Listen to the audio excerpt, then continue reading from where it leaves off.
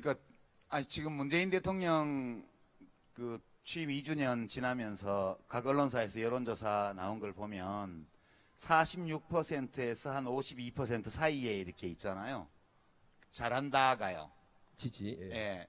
잘하지 못한다라고 해- 대답한 분들이라고 해서 또 야당을 지지하는 건 또 아니에요. 그냥 기대를 했는데 기대만큼 못 미친다 이런 거죠. 음. 근데 이 수준의 지지율이라도 유지될 수 있었던 것은 언론이 변했기 때문이 아니고요. 예.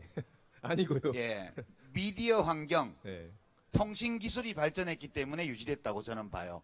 언론 기관 자체는 하나도 변한 게 없습니다. 노무현 대통령 때하고. 지어 지그 지어 디그 신문 이런 신문 바뀌었나요? 안 바뀌었죠. 그리고 그 신문들이 가지고 있는 지금은 방송까지 겸업하고 있습니다. 이명박 대통령 때 그 종편이 됐죠. 종편 예. 만들어 줘 가지고요. JTBC 하나만 지금 어, 신뢰도 1등 아닙니까?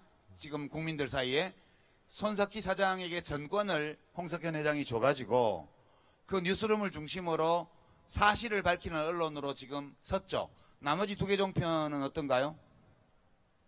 존재감이 별로 없죠. 시- 방송까지 가지고 있는데도 그 조선일보의 영향력은 예전만 못해요.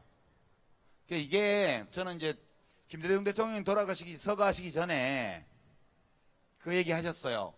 어, 3대 위기 이런 말씀하면서 예. 민주주의의 위기, 서민 경제의 위기, 남북 관계 위기 이 세 가지 말씀하셨어요. 그리고 에, 시민들에게 당부하셨죠. 행동해야 된다고. 예.